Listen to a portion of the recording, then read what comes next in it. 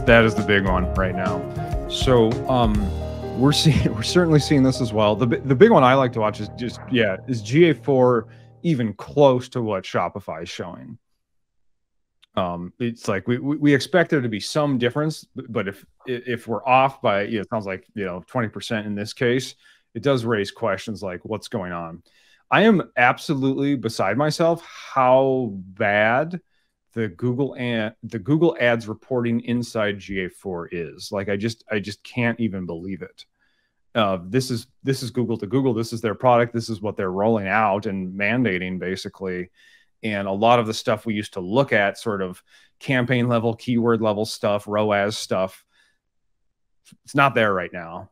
So um, that's that part is messy. And so as we're trying to figure out what's going on in Google Ads, I'd say we're leaning a little more on you know the, the Google Ads tracking, particularly if we're again we're going directly with say Google Tag Manager or whatever. Like we're, we're sending data directly into Google Ads rather than you know through the triangle of uh, Google Ads, Google Analytics to Shopify, et cetera. So it's a the the triangulation is causing all of us to scratch our heads. So you're not alone at all on that.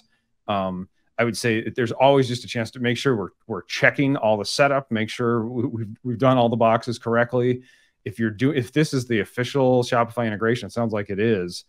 Um, yeah, I don't I don't have great answers. A lot of us are seeing this, and it's very frustrating. And uh, yeah, I'm sorry, I don't know. I wish I, I wish I had a better answer. I've uh, my team and I are uh, talking with other PPC people as well uh, on the same issue.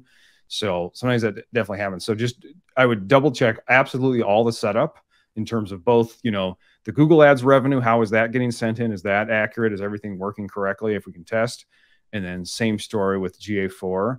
Um, but in I think the in this triangle, the weakness that we're seeing is when we try to dig into what is going on with Google ad campaigns and we're looking inside GA4, it's it, that seems to be the issue specifically. So when, when we want insight into those Google Ads campaigns, we're often looking directly into the Google Ads and uh, not not GA4 at this point. So yeah, sorry, that's a that's a major frustration at this point.